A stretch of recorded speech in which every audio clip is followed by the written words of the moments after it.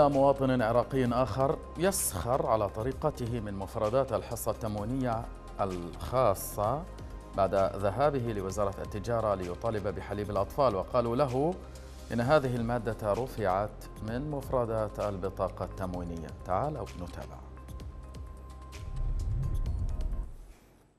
اليوم عندي مراجعة لوزارة التجارة لأن صار عندي طفل وقلت أراجع علي على مود حليب إله خطية فقالوا لي ما عندنا حليب من زمان قطعوا الدولة قطعته الله يستر عليها إن شاء الله. ما عنده تقشف فأعطوني كتاب قالوا لي تروح المفخر بالكرادة. من وزارة التجارة؟ مكتوبة عليه صيدلية الكرادة وزارة التجارة وقعوا عليها.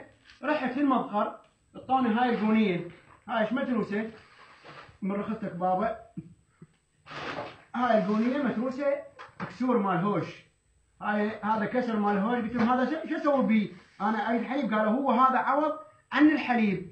سويت من عندها من هاي الكسور سويت؟ يعني جدريه شوفوا. قلت لهم هذا شنو يعني؟ قال هذا شلون الممه؟ شلون الحليب يعرف الممه؟ مكان البلارجون وهذا الآخر الحليب شوفوا شلون؟ بس شوفوا. شوف آه.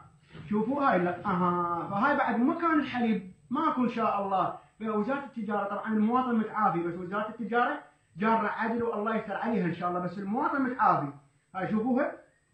بعد لا تشتري لا بثمانية ولا بعشرة. هاي طبعا صالح الفقير إن شاء الله. يعني هاي القونية بالمسخر خطية قال لي وزارة التجارة قال لي تكفيك شهرين. قلت له نعم الله عليك. فسويت من عندها وجبة هاي. هاي تخلص هاي الممة مو تخلص هاي الممة اعطي الزغيرونة. هاي الزغيرونة مال الليل شوفوها. الحمد لله والشكر. خادمكم صباح الفوادي. وأشكر أنا وزارة التجارة. ورحمة الله.